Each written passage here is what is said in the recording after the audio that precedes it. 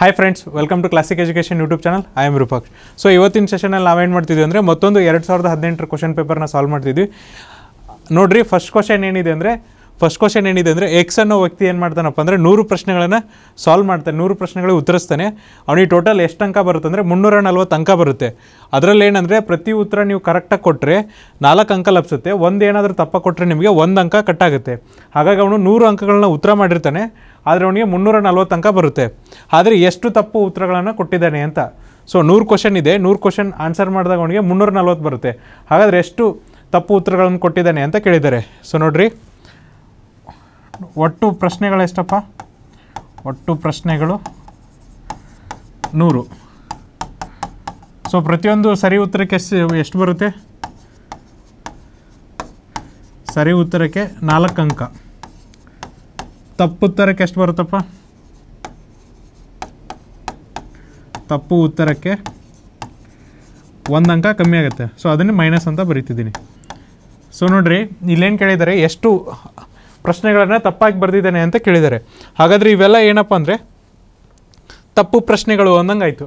So ನಾವೇನು ಮಾಡೋಣ, ಸರಿ ಪ್ರಶ್ನೆಗಳಲ್ಲಿ ತಪ್ಪು ಪ್ರಶ್ನೆಗಳನ್ನು ತೆಗೆದ್ರೆ ನಮಗೆ ಆನ್ಸರ್ ಎಷ್ಟು ಬರಬೇಕು? ಮುನ್ನೂರ ನಲ್ವತ್ತು ಬರಬೇಕು. ಅಂಥ ಆಪ್ಷನ್ ಯಾವುದಿದೆ ಅಂತ ಕಂಡುಹಿಡಿಯೋಣ. ಸೊ ನೋಡ್ರಿ ಫಸ್ಟ್ ಏನಿದೆ? ಹದಿನೈದು ಅಂತ ಹೇಳಿದ್ದಾರೆ. ಸೊ ಹದಿನೈದು ಅಂದರೆ ಹದಿನೈದು ತಪ್ಪು ಪ್ರಶ್ನೆಗಳಾಗಿವೆ ಅಂದರೆ ತಪ್ಪು ಉತ್ತರಗಳು ಕೊಟ್ಟಿದ್ದಾರೆ ಅಂತ. ಹಾಗಾದರೆ ಹದಿನೈದು ತಪ್ಪು ಉತ್ತರಗಳು ಕೊಟ್ಟರೆ ಎಷ್ಟು ಸರಿ ಉತ್ತರಗಳು ಕೊಟ್ಟಿರ್ತಾರೆ? ಎಂಬತ್ತೈದು ಸರಿ ಉತ್ತರಗಳನ್ನು ಕೊಟ್ಟಿರ್ತಾನೆ. ಹಾಗಾದರೆ ಎಂಬತ್ತೈದು ಸರಿ ಉತ್ತರ ಅಂದರೆ ಪ್ರತಿಯೊಂದು ಉತ್ತರಕ್ಕೆ ಎಷ್ಟು ಮಾರ್ಕ್ಸ್ ಬರುತ್ತಪ್ಪ? ನಾಲ್ಕು ಮಾರ್ಕ್ಸ್ ಬರುತ್ತೆ. ಸೊ ಎಂಬತ್ತೈದು ನಾಲ್ಕಲೆ ಎಷ್ಟಾಗುತ್ತೆ ನೋಡಿರಿ? ಎಂಬತ್ನಾಲ್ಕಲೇ ಎಷ್ಟಾಯ್ತಪ್ಪ? ಮುನ್ನೂರ ಇಪ್ಪತ್ತು ಐದು ನಾಲ್ಕಲೆ ಇಪ್ಪತ್ತು. ಸೊ ಇದು ಮುನ್ನೂರ ನಲ್ವತ್ತಾಯಿತು ಇದರಲ್ಲಿ ಏನು ಮಾಡ್ಬೇಕು ನಾವು? ಕಳಿಬೇಕು. ಎಷ್ಟು ಕಳಿಬೇಕು? ಹದಿನೈದು ಕಳಿಬೇಕು. ಯಾಕಂದರೆ ಹದಿನೈದು ತಪ್ಪು ಉತ್ತರ ಕೊಟ್ಟಿ ಕೊಟ್ಟಿದ್ದಾನೆ. ಹಾಗಾದ್ರೆ ಹದಿನೈದು ಕಳೆದ್ರೆ ಎಷ್ಟು ಉಳಿಯುತ್ತೆ ನೋಡ್ರಿ? ಮುನ್ನೂರ ಇಪ್ಪತ್ತೈದು ಉಳಿಯುತ್ತೆ. ಹಾಗಾಗಿ ಈ ಆನ್ಸರ್ ಕೂಡ ಆಗಲ್ಲ. ನೆಕ್ಸ್ಟ್ ನೋಡ್ರಿ, ಹದಿನಾಲ್ಕಿದೆ. ಸೊ ಹದಿನಾಲ್ಕು ಏನಾಗುತ್ತೆ? ತಪ್ಪು ಉತ್ತರಗಳಾಗುತ್ತೆ. ಸೊ ಸರಿ ಉತ್ತರ ಎಷ್ಟಾಗುತ್ತೆ? ಎಂಬತ್ತಾರು ಆಗುತ್ತೆ. ಸೊ ನೋಡ್ರಿ. ಎಂಬತ್ತಾರು ಇಂಟು ನಾಲ್ಕು ಮಾಡಿದರೆ ಎಷ್ಟು ಬರುತ್ತೆ? ಎಂಬತ್ತೈದು ಇಂಟು ನಾಲ್ಕು ಮಾಡಿದರೆ ಮುನ್ನೂರ ನಲ್ವತ್ತು ಬಂತು. ಎಂಬತ್ತಾರು ಇಂಟು ನಾಲ್ಕು ಮಾಡಿದರೆ ಮುನ್ನೂರ ನಲ್ವತ್ನಾಲ್ಕು ಬರುತ್ತೆ. ಇಲ್ಲೇನಾಗುತ್ತಪ್ಪ ಅಂದರೆ ಹದಿನಾಲ್ಕು ತಪ್ಪು ಉತ್ತರಗಳನ್ನು ಕೊಟ್ಟಿದ್ದಾನೆ. ಹಾಗಾದರೆ ಎಷ್ಟು ಮಾರ್ಕ್ಸ್ ಕಳಿಬೇಕು ನಾವು ಅದರಲ್ಲಿ? ಹದಿನಾಲ್ಕು ಮಾರ್ಕ್ಸ್ನ ಕಳಿಬೇಕು. ಸೊ ಕಳೆದ್ರೆ ನಿಮ್ಗೆ ಎಷ್ಟು ಉಳಿಯುತ್ತೆ? ಮುನ್ನೂರ ಮೂವತ್ತು ಉಳಿಯುತ್ತೆ. ಬಟ್ ಅಲ್ಲಿ ಆನ್ಸರ್ ಎಷ್ಟಿದೆ? ಮುನ್ನೂರ ನಲ್ವತ್ತಿದೆ ಹಾಗಾಗಿ ಈ ಆಪ್ಷನ್ ಕೂಡ ಆಗಲ್ಲ. ನೆಕ್ಸ್ಟ್ ಆಪ್ಷನ್ ನೋಡ್ರಿ, ಹನ್ನೆರಡು ಇದೆ. ಹನ್ನೆರಡು ಅಂದರೆ ಹನ್ನೆರಡು ತಪ್ಪು ಉತ್ತರಗಳನ್ನು ಕೊಟ್ಟಿದ್ದಾನೆ. ನೂರಲ್ಲಿ ಹನ್ನೆರಡು ಕಳೆದ್ರೆ ನಿಮ್ಗೆ ಎಷ್ಟು ಉಳಿಯುತ್ತೆ? ಎಂಬತ್ತೆಂಟು ಉಳಿಯುತ್ತೆ. ಎಂಬತ್ತೆಂಟು ಏನಪ್ಪ ಅಂದರೆ ಸರಿ ಉತ್ತರಗಳು. ಸೊ ನೋಡ್ರಿ, ಎಂಬತ್ತೆಂಟು ಇಂಟು ನಾಲ್ಕು ಮಾಡಿರಿ. ಎಂಬತ್ನಾಲ್ಕಲೇ ಮುನ್ನೂರ ಇಪ್ಪತ್ತು. ಮುನ್ನೂರ ಇಪ್ಪತ್ತು ಪ್ಲಸ್ ಮೂವತ್ತೆರಡು ಎಷ್ಟಾಗುತ್ತೆ? ಮುನ್ನೂರ ಐವತ್ತೆರಡು ಆಗ್ತದೆ. ಸೊ ಎಷ್ಟು ತಪ್ಪು ಉತ್ತರಗಳನ್ನು ಕೊಟ್ಟಿದ್ದಾನೆ ಅವನು? ಹನ್ನೆರಡು ತಪ್ಪು ಉತ್ತರವನ್ನು ಕೊಟ್ಟಿದ್ದಾನೆ. ಹಾಗಾಗಿ ಎಷ್ಟು ಮಾರ್ಕ್ಸ್ ಕಳಿಬೇಕಪ್ಪ ನಾವು? ಮೈನಸ್ ಹನ್ನೆರಡು ಮಾಡಬೇಕು. ಎಷ್ಟು ಬರುತ್ತೆ ನೋಡಿರಿ? ಮುನ್ನೂರ ನಲ್ವತ್ತು ಬರ್ತದೆ. ಹಾಗಾದರೆ ಈ ಉತ್ತರ ಆಗ್ತದೆ. ಯಾವುದು ಆಪ್ಷನ್ ನಂಬರ್ ತ್ರೀ ಅದೇ ಥರನಾಗಿ ಆಪ್ಷನ್ ನಂಬರ್ ಫೋರ್ ಕೂಡ ಆಗಲ್ಲ. ಸೊ ಇದೇನಂದರೆ ನಿಮಗೆ ಡೀಟೇಲಾಗಿ ಮಾಡಿರೋದು. ಈ ಉತ್ತರನ ನೀವು ಇನ್ನೂ ಈಸಿಯಾಗಿ ಕಂಡುಹಿಡಿಬೋದು ಯಾವ ಥರ ಅಂದರೆ ನೋಡಿರಿ ಯೂನಿಟ್ ಡಿಜಿಟ್ ಕಾನ್ಸೆಪ್ಟನ್ನ ಯೂಸ್ ಮಾಡ್ಕೊಂಡು ನೀವು ಕಂಡುಹಿಡಿಬೋದು ಯೂನಿಟ್ ಡಿಜಿಟ್ ಯಾವ ಥರ ಅಂದರೆ ನೋಡಿರಿ, ಹದಿನೈದು ತಪ್ಪು ಉತ್ತರಗಳಂದರೆ ಸರಿ ಉತ್ತರಗಳು ಎಷ್ಟಿರುತ್ತಪ್ಪ? ಎಂಬತ್ತೈದು. ಐದು ನಾಲ್ಕಲೇ ಎಷ್ಟಾಯಿತು? ಇಪ್ಪತ್ತು. ಇಪ್ಪತ್ತರಲ್ಲಿ ಐದು ಹೋದರೆ ಎಷ್ಟು ಉಳಿಯುತ್ತೆ? ಐದು ಉಳಿಯುತ್ತೆ. ಬಟ್ ಯೂನಿಟ್ ಡಿಜಿಟಲ್ ಏನಿದೆ? ಸೊನ್ನೆ ಇದೆ. ಹಾಗಾಗಿ ಈ ಆಪ್ಷನ್ ಆಗಲ್ಲ. ನೆಕ್ಸ್ಟ್ ನೋಡಿರಿ, ಹದಿನಾಲ್ಕಕ್ಕೆ ಹದಿನಾಲ್ಕು. ನಾಲ್ಕು ನಾಲ್ಕಲೆ ಎಷ್ಟಾಯಿತು? ಹದಿನಾರು. ಕೊನೆಯಲ್ಲಿ ಆರು ಉಳಿತು. ಅದರಲ್ಲಿ ಎಷ್ಟು ಕಳಿಬೇಕು ನೀವು? ಅದರಲ್ಲಿ ಎಷ್ಟು ಕಳಿಬೇಕು? ಹದಿನಾಲ್ಕು ಕಳಿಬೇಕು. ಹದಿನಾಲ್ಕು ಕಳೆದ್ರೆ, ಹದಿನಾಲ್ಕು ಅಂದರೆ ನಾಲ್ಕು ಕಳಿಬೇಕು. ನಾಲ್ಕು ಕಳೆದ್ರೆ ನಿಮ್ಗೆ ಎಷ್ಟು ಉಳಿಯುತ್ತೆ? ಎರಡು ಉಳಿಯುತ್ತೆ. ಹಾಗಾಗಿ ಈ ಆಪ್ಷನ್ ಕೂಡ ಆಗಲ್ಲ. ಸೊ ನೆಕ್ಸ್ಟ್ ನೋಡಿರಿ, ಹನ್ನೆರಡು. ಹನ್ನೆರಡು ಅಂದರೆ ಎಷ್ಟು ಸರಿ ಉತ್ತರಗಳಾಗುತ್ತೆ? ಎಂಬತ್ತೆಂಟು ಸರಿ ಉತ್ತರಗಳಾಗುತ್ತೆ. ಎಂಟು ನಾಲ್ಕಲೆ ಮೂವತ್ತೆರಡು ಸೊ ಏನಪ್ಪ ಯೂನಿಟ್ ಡಿಜಿಟಲ್ ಏನು ಉಳಿತು? ಎರಡು ಉಳಿತು. ಸೊ ಎಷ್ಟನ್ನ ಕಳಿಬೇಕಾಗುತ್ತೆ ನೀವು? ಎರಡು ಕಳಿಬೇಕಾಗುತ್ತೆ. ಎರಡು ಕ, ಎರಡರಲ್ಲಿ ಎರಡು ಕಳೆದ್ರೆ ಏನು ಉಳಿಯುತ್ತೆ? ಸೊನ್ನೆ ಉಳಿಯುತ್ತೆ. ಹಾಗಾದರೆ ಈ ಆಪ್ಷನ್ ಆಗುತ್ತೆ. ಅದೇ ಥರ ನೋಡಿರಿ. ಎಂಬತ್ತೇಳು ಏಳು ನಾಲ್ಕಲೆ ಇಪ್ಪತ್ತೆಂಟು. ಸೊ ಮೂರು ಕಳೆದ್ರೆ ಐದು ಉಳಿಯುತ್ತೆ. ಅಂದರೆ ಯೂನಿಟ್ ಡಿಜಿಟಲ್ ಮೂರು ಕಳೆದ್ರೆ ಐದು ಉಳಿಯುತ್ತೆ. ಬಟ್ ಯೂನಿಟ್ ಡಿಜಿಟಲ್ ನಮ್ಗೆ ಏನು ಬೇಕು? ಸೊನ್ನೆ ಬೇಕು. ಹಾಗಾಗಿ ಈ ಆಪ್ಷನ್ ಕೂಡ ಆಗಲ್ಲ. ಸೊ ನೋಡಿರಿ, ಹದಿನಾಲ್ಕರಲ್ಲಿ ಏನಾಗುತ್ತೆ ಅಂದರೆ, ಹದಿನಾಲ್ಕು ಅಂದರೆ ಸರಿ ಉತ್ತರಗಳು ಎಷ್ಟಾಗುತ್ತೆ ಅಂದರೆ, ಎಂಬತ್ತಾರು ಆಗುತ್ತೆ. ಸೊ ಆರು ನಾಲ್ಕಲ್ಲಿ ಎಷ್ಟಾಗುತ್ತಪ್ಪ? ಇಪ್ಪತ್ನಾಲ್ಕು. ಸೊ ನಾಲ್ಕು. ಕಳೆದ್ರೆ ಸೊನ್ನೆ ಬರುತ್ತೆ. ಸೊ ನಿಮಗೇನಂದರೆ, ಒಂದು ಹದಿನಾಲ್ಕು ಆಗಬೇಕು, ಇಲ್ಲ ಒಂದು ಹನ್ನೆರಡು ಆಗಬೇಕು. ಆವಾಗ ನೀವು ಇವೆರಡನ್ನು ಕನ್ಫರ್ಮೇಷನ್ ಮಾಡೋಕೆ ಅನ್ಕು, ಅನುಕೂಲ ಆಗುತ್ತೆ. ಸೊ ಎಲ್ಲನೂ ಕನ್ಫರ್ಮೇಷನ್ ಮಾಡೋದಕ್ಕಿಂತ ಎರಡನ್ನು ಕನ್ಫರ್ಮೇಷನ್ ಮಾಡೋದು ತುಂಬ ಈಸಿ ಆಗುತ್ತೆ. ಸೊ ನೋಡಿರಿ, ಈ ಕ್ವಶನಿಗೆ ಉತ್ತರ ಏನಾಗುತ್ತೆ ಅಂದರೆ option number two option number three twelve ಆಗುತ್ತೆ. ಅದೇ ಥರನಾಗಿ ನೆಕ್ಸ್ಟ್ ಕ್ವಶನ್ ನೋಡೋಣ. ನೆಕ್ಸ್ಟ್ ಕ್ವಶನ್ ಏನಿದೆ ಅಂದರೆ ಹದಿಮೂರು ವಿದ್ಯಾರ್ಥಿಗಳ ಗುಂಪಿನಲ್ಲಿ ಪ್ರತಿ ವಿದ್ಯಾರ್ಥಿಯು ಐದು ವಿಷಯಗಳನ್ನು ಓದುತ್ತಾನೆ ಮತ್ತು ಪ್ರತಿ ವಿಷಯವನ್ನು ಅರ್, ಅರವತ್ತೈದು ವಿದ್ಯಾರ್ಥಿಗಳು ಓದುತ್ತಾರೆ. ಹಾಗಾದರೆ ಒಟ್ಟು ವಿಷಯಗಳ ಸಂಖ್ಯೆ ಅಂತ ಕೇಳಿದ್ದಾರೆ. ಸೊ ನೋಡ್ರಿ ಹದಿಮೂರು ನೂರು ವಿದ್ಯಾರ್ಥಿಗಳಿದ್ದಾರೆ ಒಂದು ಗುಂಪಿನಲ್ಲಿ. ಅವ್ರೇನು ಮಾಡ್ತಾರಪ್ಪ ಅಂದರೆ, ಪ್ರತಿಯೊಂದು ವಿದ್ಯಾರ್ಥಿಯು ಐದು ವಿಷಯಗಳನ್ನ ಓದ್ತಾರೆ. ಆಮೇಲೆ ಪ್ರತಿ ವಿಷಯನ ಎಷ್ಟು ಜನ ಓದ್ಬೋದು ಅಂದರೆ ಜಾಸ್ತಿ? ಅರವತ್ತೈದು ವಿದ್ಯಾರ್ಥಿಗಳು ಹೋಗು ಓದ್ಬೋದು. ಹಾಗಾದರೆ ಎಷ್ಟು ವಿಷಯಗಳಿದೆ ಅಂತ ಕೇಳಿದ್ದಾರೆ. ಸೊ ನೋಡ್ರಿ ಹದಿಮೂರು ನೂರು ವಿದ್ಯಾರ್ಥಿಗಳು ಏನು ಮಾಡ್ತಾರಪ್ಪ ಅಂದರೆ ಹದಿಮೂರು ನೂರು ವಿದ್ಯಾರ್ಥಿಗಳು ಏನು ಮಾಡ್ತಾರಂದರೆ, ಐದು ವಿಷಯಗಳನ್ನ ಓದ್ತಾರೆ ಪ್ರತಿಯೊಬ್ಬರು ಹಾಗಾದರೆ ಟೋಟಲ್ ಎಷ್ಟಾಗುತ್ತೆ? ಹದಿಮೂರು ಐದಲೇ ಅರವತ್ತೈದು. ಆರು ಸಾವಿರದ ಐದುನೂರ ವಿದ್ಯಾರ್ಥಿಗಳು ಏನು ಮಾಡ್ತಾರಪ್ಪ ಅಂದರೆ ಆರು ಸಾವಿರದ ಐನೂರು ವಿದ್ಯಾರ್ಥಿಗಳು ವಿಷಯಗಳನ್ನ ಓದ್ತಾರೆ ಅಂದಂಗಾಯಿತು. ಸೊ ಒಂದು ವಿಷಯನ ಎಷ್ಟು ವಿದ್ಯಾರ್ಥಿಗಳು ಓದ್ಬೋದಪ್ಪ? ಅರವತ್ತೈದು ವಿದ್ಯಾರ್ಥಿಗಳು ಓದ್ಬೋದು. ಹಾಗಾದರೆ ನಮಗೆ ಎಷ್ಟು ವಿದ್ಯಾರ್ಥಿ, ಎಷ್ಟು ವಿಷಯಗಳಿದೆ ಅಂತ ಕೇಳ್ತಿದ್ದಾರೆ. ಹಾಗಾದ್ರೆ ನಾವೇನು ಮಾಡಬೇಕು? ಆರು ಸಾವಿರದ ಐದುನೂರಲ್ಲಿ ಅರವತ್ತೈದರಿಂದ ಭಾಗಿಸ್ಬೇಕು. ಸೊ ನೋಡಿರಿ, ಅರವತ್ತೈದು ಒಂದಲೇ ಅರವತ್ತೈದು ಒಂದಲೇ. ಸೊ ಎಷ್ಟು ಉಳಿಯುತ್ತಪ್ಪ? ಎರಡು ಸೊನ್ನೆ ಉಳಿತು. ನಿಖರವಾಗಿ ನೂರು ವಿದ್ಯಾರ್ಥಿಗಳಿದ್ದಾರೆ. ಸೊ ನಾನೇನು ಮಾಡಿದೆ ಅಂದರೆ ಒಟ್ಟು ಎಷ್ಟು ಪುಸ್ತಕಗಳನ್ನ ಓದ್ತಾರೆ ಅಂತ ಕಂಡಿಡಿದೆ ಫಸ್ಟು ಸೊ ಎಷ್ಟು ಪುಸ್ತಕಗಳನ್ನ ಓದ್ತಾರೆ ಅಂದಾಗ ಎಷ್ಟಾಯಿತು? ಆರು ಸಾವಿರದ ಐದುನೂರು ಆಯಿತು ಅದರಲ್ಲಿ ಏನು ಮಾಡಿದೆ? ಎಷ್ಟು, ಒಬ್ಬ ವಿದ್ಯಾರ್ಥಿ ಎಷ್ಟು ಪುಸ್ತಕಗಳನ್ನ ಓದ್ತಾನೆ ಅಂತ ಕಂಡುಹಿಡಿದೆ ಅವಾಗ ನಮಗೇನಾಗುತ್ತೆ ಅಂದರೆ, ನಿಖರವಾಗಿ ಎಷ್ಟು ಪುಸ್ತಕಗಳಿವೆ ಅಂತ ಸಿಗುತ್ತೆ. ಹಾಗಾದರೆ, ನಿಖರವಾಗಿ ಇಲ್ಲಿ ಎಷ್ಟು ಪುಸ್ತಕಗಳಿವೆಪ್ಪ? ನೂರು ಪುಸ್ತಕಗಳಿವೆ. ಸೊ ನೋಡ್ರಿ ನೆಕ್ಸ್ಟ್ ಕ್ವಶನ್ ಏನಿದೆ ಅಂದರೆ, ರಾಮ್ ಮತ್ತು ಶ್ಯಾಮನು ಪ್ರತ್ಯೇಕವಾಗಿ ಮೂವತ್ತೆರಡು ಮತ್ತು ಇಪ್ಪತ್ನಾಲ್ಕು ದಿನಗಳಲ್ಲಿ ಒಂದು ನಿರ್ದಿಷ್ಟ ಕೆಲಸವನ್ನು ಮಾಡಬಲ್ಲರು. ಅವರು ಒಟ್ಟಾಗಿ ಕೆಲಸ ಮಾಡಲು ನಿರ್ದೇಶಿ, ನಿರ್ಧರಿಸಿದರು ಮತ್ತು ಮಹೇಶನನ್ನು ಸೇರಿಸಿಕೊಂಡರು. ಎಲ್ಲರೂ ಒಟ್ಟಾಗಿ ಎಂಟು ದಿನಗಳಲ್ಲಿ ಒಂದು ಕೆಲಸವನ್ನು ಪೂರ್ಣಗೊಳಿಸಿದರು. ಮಹೇಶ್ ಒಬ್ಬನೇ ಎಷ್ಟು ಸಮಯದಲ್ಲಿ ಆ ಕೆಲಸನ ಮುಗಿಸ್ತಾನೆ ಅಂತ ಕೇಳಿದ್ದಾರೆ. ಸೊ ನೋಡ್ರಿ, ರಾಮ್ ಮತ್ತು ಶ್ಯಾಮಣ್ಣ ಇಬ್ಬರು ಸ್ನೇಹಿತರಿರ್ತಾರೆ ಅವ್ರು ಏನು ಮಾಡ್ತಾರೆ, ಒಂದು ಕೆಲಸನ ಮೂವತ್ತೆರಡು ಮತ್ತು ಇಪ್ಪತ್ನಾಲ್ಕು ದಿನದಲ್ಲಿ ಮುಗಿಸ್ತಾರೆ.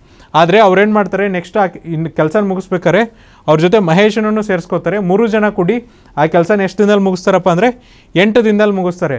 ಹಾಗಾದರೆ ಮಹೇಶ್ ಒಬ್ಬನೇ ಆ ಕೆಲಸನ ಎಷ್ಟು ದಿನದಲ್ಲಿ ಮುಗಿಸ್ತಾರೆ ಅಂತ ಕೇಳಿದ್ದಾರೆ.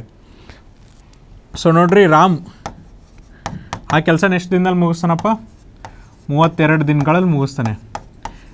ಅದೇ ಥರನಾಗಿ ಶ್ಯಾಮ್, ಎಷ್ಟು ದಿನದಲ್ಲಿ ಮುಗಿಸ್ತಾನೆ? ಇಪ್ಪತ್ನಾಲ್ಕು ದಿನದಲ್ಲಿ. ನೆಕ್ಸ್ಟ್ ರಾಮ್ ಮತ್ತು ಶ್ಯಾಮ್ ಮತ್ತು ಮಹೇಶ್ ಮೂರು ಜನ ಕೂಡಿ ಆ ಕೆಲಸ ಎಷ್ಟು ದಿನದಲ್ಲಿ ಮುಗಿಸ್ತಾರೆ? ಎಂಟು ದಿನದಲ್ಲಿ ಮುಗಿಸ್ತಾರೆ. ಆದರೆ ನಮಗೆ ಎಷ್ಟು ಕೆಲಸ ಇದೆ ಅಂತ ಗೊತ್ತಿಲ್ಲ. ಸೊ ಎಷ್ಟು ಕೆಲಸ ಇದೆ ಅನ್ನೋಕ್ಕೆ ನಾವೇನು ಮಾಡ್ತೀವಿ ಅಂದರೆ ಲಸಹ ತೊಗೋತೀವಿ. ಅದ್ರದ್ದು ಮೂವತ್ತೆರಡು, ಇಪ್ಪತ್ನಾಲ್ಕು ಮತ್ತು ಎಂಟರದ್ದು ಲಸ ತೊಗೋತೀವಿ. ಸೊ ನೋಡಿರಿ ಲಸ ತಗೋರಿ. ಲಸಹ. ಮೂವತ್ತೆರಡು ಇಪ್ಪತ್ನಾಲ್ಕು ಮತ್ತು ಎಂಟರದ್ದು. ಎಂಟು ನಾಲ್ಕಲೇ ಮೂವತ್ತೆರಡು ಎಂಟು ಮೂರಲೇ ಇಪ್ಪತ್ನಾಲ್ಕು ಒಂದಲೇ ಎಂಟು. ಸೊ ನೋಡಿರಿ, ಎಂಟು ಕಾಮನ್ ಇದೆ ಎಲ್ಲದರಲ್ಲೂ. ಎಂಟು ತೊಗೋತೀನಿ. ಇನ್ನು ನೆಕ್ಸ್ಟ್ ಏನು ಉಳಿಯುತ್ತಪ್ಪ? ನಾಲ್ಕು ಮತ್ತು ಮೂರು ಉಳಿಯುತ್ತೆ. ಸೊ ನಾಲ್ಕು ಮೂರಲೇ ಹನ್ನೆರಡು. ಹನ್ನೆರಡು ಎಂಟ್ಲೆ ಎಷ್ಟಾಗತ್ತಪ್ಪ? ತೊಂಬತ್ತಾರು. ಸೊ ಒಟ್ಟು ಎಷ್ಟು ಕೆಲಸ ಇದೆ ಅಂದರೆ ತೊಂಬತ್ತಾರು ಯೂನಿಟ್ ಇದೆ. ಸೊ ನೋಡಿರಿ, ಒಟ್ಟು ತೊಂಬತ್ತಾರು ಯೂನಿಟ್ ಇದೆ. ಹಾಗಾದರೆ, ರಾಮಣ್ಣವನು ಪ್ರತಿದಿನಕ್ಕೆ ಎಷ್ಟು ಕೆಲಸ ಮಾಡ್ತಾನೆ? ತೊಂಬತ್ತಾರು ಡಿವೈಡೆಡ್ ಬೈ ಮೂವತ್ತೆರಡು. ಮೂವತ್ತೆರಡು ಒಂದೇ ಮೂವತ್ತೆರಡು ಮೂರಲೆ ರಾಮಣ್ಣವನು ಪ್ರತಿದಿನಕ್ಕೆ ಮೂರು ಯೂನಿಟ್ ಕೆಲಸ ಮಾಡ್ತಾನೆ. ಅದೇ ಥರನಾಗಿ ಶ್ಯಾಮಣ್ಣವನು ಪ್ರತಿದಿನಕ್ಕೆ ಎಷ್ಟು ಮಾಡ್ತಾನೆ ನೋಡ್ರಿ? ತೊಂಬತ್ತಾರು ಡಿವೈಡೆಡ್ ಬೈ ಇಪ್ಪತ್ನಾಲ್ಕು. ಇಪ್ಪತ್ನಾಲ್ಕು ಒಂದಲೇ ಇಪ್ಪತ್ನಾಲ್ಕು ನಾಲ್ಕಲೆ. ಪ್ರತಿದಿನ ಏನು ಮಾಡ್ತಾನೆ ಅಂದರೆ ನಾಲ್ಕು ಯೂನಿಟ್ನ ಮಾಡ್ತಾನೆ. ಅದೇ ಥರನಾಗಿ ರಾಮ್, ಶ್ಯಾಮ್ ಮತ್ತು ಮಹೇಶ್ ಮೂರು ಜನ ಕೂಡಿ ಒಂದು ದಿನಕ್ಕೆ ಎಷ್ಟು ಯೂನಿಟ್ ಮಾಡ್ತಾರೆ ನೋಡ್ರಿ? ತೊಂಬತ್ತಾರು ಡಿವೈಡೆಡ್ ಬೈ ಎಂಟು ಮಾಡಿರಿ. ತೊಂಬತ್ತಾರು ಡಿವೈಡೆಡ್ ಬೈ ಎಂಟು ಮಾಡಿದರೆ ಎಂಟು ಒಂದಲೇ ಎಂಟು ಒಂದು ಉಳಿತು ಹದಿನಾರು ಆಯಿತು, ಎಂಟೆರಡಲೇ ಹದಿನಾರು. ಸೊ ಪ್ರತಿದಿನ ಎಷ್ಟು ಮಾಡ್ತಾರಪ್ಪ ಅಂದರೆ ಹನ್ನೆರಡು ಯೂನಿಟ್ ಮಾಡ್ತಾರೆ. ಸೊ ನೋಡಿರಿ, ರಾಮ್ ಶ್ಯಾಮ್ ಮತ್ತು ಮಹೇಶ್ ಕುಡಿ ಒಂದು ದಿನಕ್ಕೆ ಎಷ್ಟು ಯೂನಿಟ್ ಮಾಡ್ತಾರೆ? ಹನ್ನೆರಡು ಯೂನಿಟ್ ಕೆಲಸ ಮಾಡ್ತಾರೆ. ರಾಮ್ ಒಬ್ ರಾಮ್ ಒಬ್ಬನೇ ಎಷ್ಟು ಮಾಡ್ತಾನೆ? ಮೂರು ಯೂನಿಟ್ ಮಾಡ್ತಾನೆ. ಶ್ಯಾಮ್ ಒಬ್ಬನೇ ಎಷ್ಟು ಮಾಡ್ತಾನಪ್ಪ? ನಾಲ್ಕು ಯೂನಿಟ್ ಮಾಡ್ತಾನೆ. ಹಾಗಾದರೆ ರಾಮ್ ಮತ್ತು ಶ್ಯಾಮ್ ಕುಡಿಸಿದ್ರೆ ಎಷ್ಟಾಗುತ್ತೆ ನೋಡಿರಿ?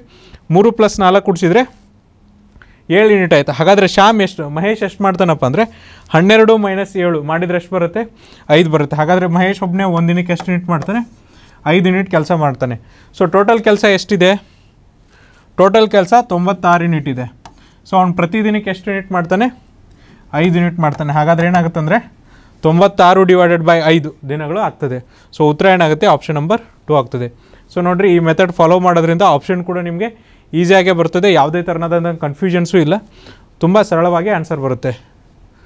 ಸೊ ನೆಕ್ಸ್ಟ್ ಕ್ವಶನ್ ನೋಡ್ರಿ. ನೆಕ್ಸ್ಟ್ ಕ್ವಶನ್ ಏನಿದೆ ಅಂದರೆ, ಇಂದಿನಿಂದ ಹತ್ತು ವರ್ಷಗಳ ಹಿಂದೆ ತಂದೆ ಮತ್ತು ಮಗನ ಪ್ರಾಯದ ಅನುಪಾತ ಹನ್ನೊಂದು ಬಿಂದು ಮೂರು ಆಗಿತ್ತು. ಹತ್ತು ವರ್ಷಗಳ ನಂತರ ಅವರ ಪ್ರಾಯದ ಅನುಪಾತ ಇಪ್ಪತ್ತೊಂದು ಬಿಂದು ಹದಿಮೂರು ಆಗುತ್ತದೆ. ಹಾಗಾದರೆ ತಂದೆ ಮತ್ತು ಮಗನ ಪ್ರಸ್ತುತ ವಯಸ್ಸೆಷ್ಟು? ಸೊ ನೋಡಿರಿ. ತಂದೆ ಮತ್ತು ಮಗ ಇದ್ದಾರೆ ಹತ್ತು ವರ್ಷಗಳ ಹಿಂದೆ ಅವರ ಪ್ರಾಯದ ಎಷ್ಟಿತ್ತಪ್ಪ? ಅನುಪಾತ ಹತ್ತು ವರ್ಷಗಳ ಹಿಂದೆ. ಅವರ ಪ್ರಾಯದ ಅನುಪಾತ ಎಷ್ಟಿತ್ತು ಅಂದರೆ ವಯಸ್ಸಿನ ಅನುಪಾತ ಹನ್ನೊಂದು ಇಷ್ಟು ಮೂರಿತ್ತು. ಹತ್ತು ವರ್ಷದ ನಂತರ ಎಷ್ಟಾಗತ್ತೆ ನೋಡ್ರಿ? ಹತ್ತು ವರ್ಷಗಳ ನಂತರ ಏನಾಗ್ತದೆ ನೋಡ್ರಿ? ಹತ್ತು ವರ್ಷಗಳ ನಂತರ ಎಷ್ಟಾಗ್ತದಪ್ಪ ಅಂದರೆ ಇಪ್ಪತ್ತೊಂದು ಇಷ್ಟು ಹದಿಮೂರು.